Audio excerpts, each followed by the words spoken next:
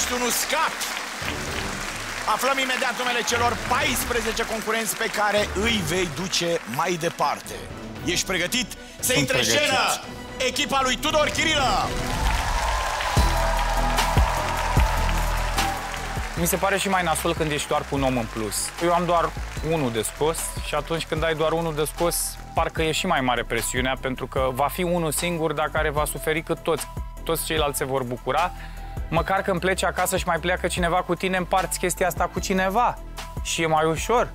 Dacă îmi pleci singur, te simți și ultimul, adică chiar eu trebuia să fiu, chiar eu.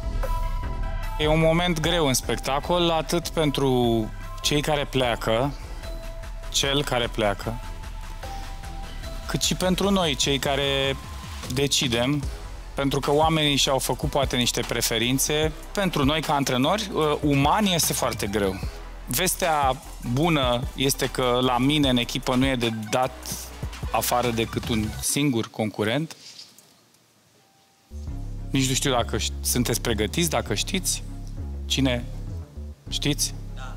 Da, așa. Vestea și mai bună este că un, acel concurent care ar trebui să plece nu este decis de mine.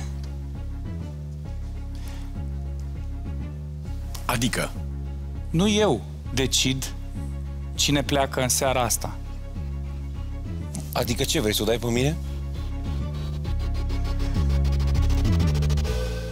În seara asta, Providența a decis pentru mine. Pentru că unul dintre voi s-a retras din acest concurs. Am aflat astăzi că colega noastră Clarisa Vicky a renunțat la concursul Vocea României. Este o voce extrem de bună, pentru care s-au întors patru scaune.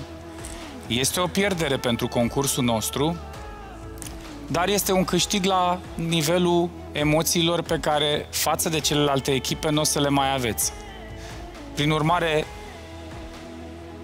în această frumoasă poză de familie vă puteți lua în brațe, vă iau și eu și ăștia suntem.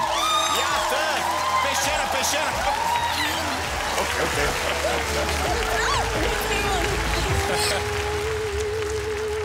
Tudor Chirilă a vânat în audițiile pe nevăzute doar 15 concurenți, iar destinul a vrut ca unica eliminare necesară de astăzi să se producă singură. Clarissa Vicky din Italia a decis să-i ușureze decizia antrenorului și s-a retras de bunăvoie din maratonul Vocea României.